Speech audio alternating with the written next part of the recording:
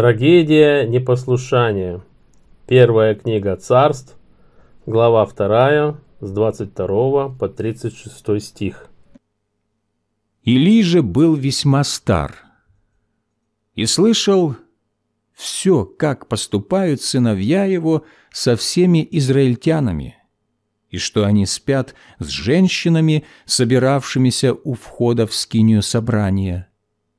И сказал им, «Для чего вы делаете такие дела? Ибо я слышу худые речи о вас от всего народа. Нет, дети мои, нехороша молва, которую я слышу. Вы развращаете народ Господень. Если согрешит человек против человека, то помолятся о нем Богу. Если же человек согрешит против Господа, то кто будет ходатаем о нем?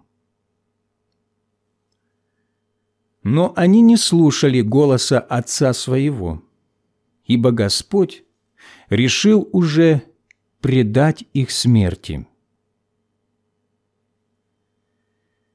Отрок же Самуил более и более приходил в возраст и в благоволение у Господа и у людей. И пришел человек Божий к Илию и сказал ему,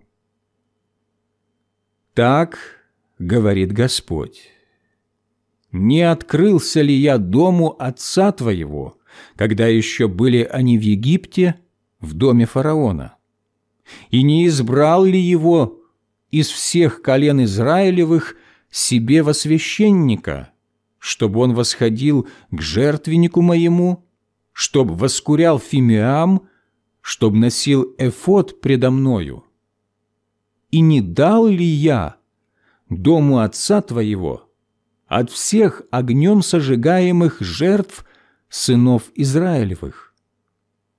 Для чего же вы попираете ногами жертвы мои и хлебные приношения мои, которые заповедал я для жилища моего, и для чего ты предпочитаешь мне сыновей своих, уточняя себя начатками всех приношений народа моего, Израиля. Посему так говорит Господь, Бог Израилев. Я сказал тогда, «Дом твой и дом отца твоего будут ходить пред лицем моим вовек». Но теперь, говорит Господь, да не будет так, ибо я прославлю прославляющих меня, а бесславящие меня будут посрамлены. Вот наступают дни, в которые я подсеку мышцу твою, и мышцу дома отца твоего, так что не будет старца в доме твоем. И ты будешь видеть бедствие жилища моего. При всем том, что Господь благотворит Израилю, и не будет в доме твоем старца во все дни.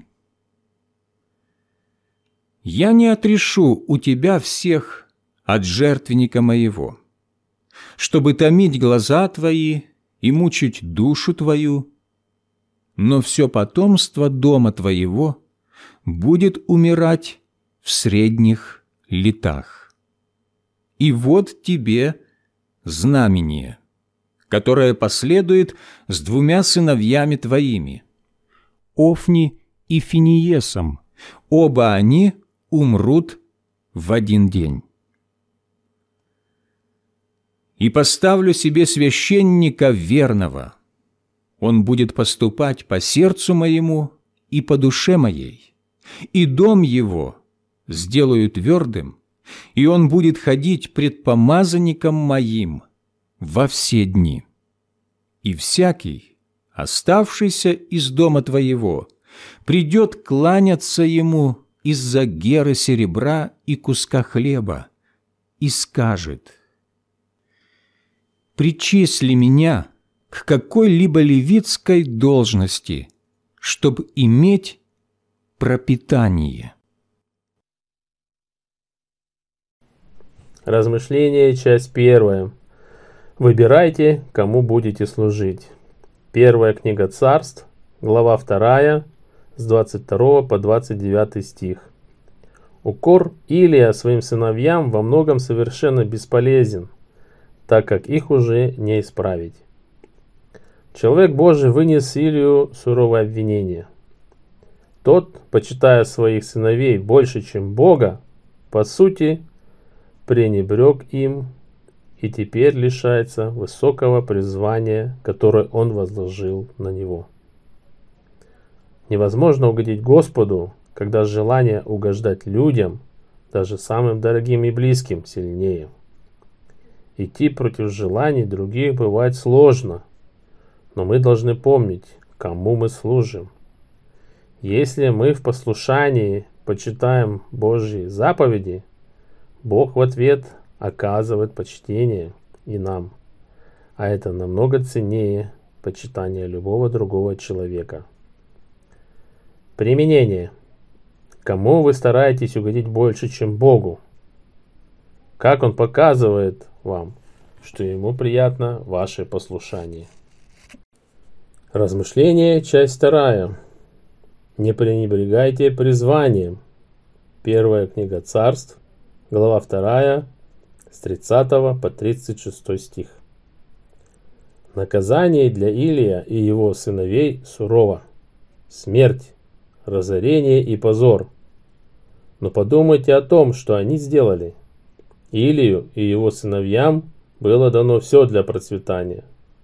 Бог призвал их к священническому служению и возвысил их, но они не ценили этого и пренебрегли своим святым призванием. Бог приглашает каждого из нас стать участником в работе Его Царства и обещает обеспечить каждую нашу нужду – чтобы мы могли крепко исполнять его призвание. Поэтому, избрав непослушание, мы упускаем шанс принести Богу славу и преобразить Его благодатью. Но хорошая весть в том, что Бог терпелив и милостив, и если мы отворачиваемся от греха и встаем на Его путь, Он снова дает нам возможность участвовать в жизни, которую Он уготовил нам. Применение. Какие искушения этого мира для вас особенно сильны? К какой работе ради царства Бог призывает вас? Молитва дня. Небесный Отец, прости, что иногда мне хочется угождать людям больше, чем тебе. Напомни мне еще раз о том, кем ты являешься и как ты призвал меня служить тебе и другим людям. Используй меня как посла своего царства – во имя Иисуса Христа я молюсь. Аминь. Мир Божий, дорогие друзья! У нас для вас прекрасные новости. Журнал «Живая жизнь» запустил приложение для вашего телефона. В этом приложении мы собрали план чтения на каждый день, помощь в понимании Библии, видеоразборы и удобный формат для заметок. Пожалуйста, скачивайте приложение по ссылке в описании к видео.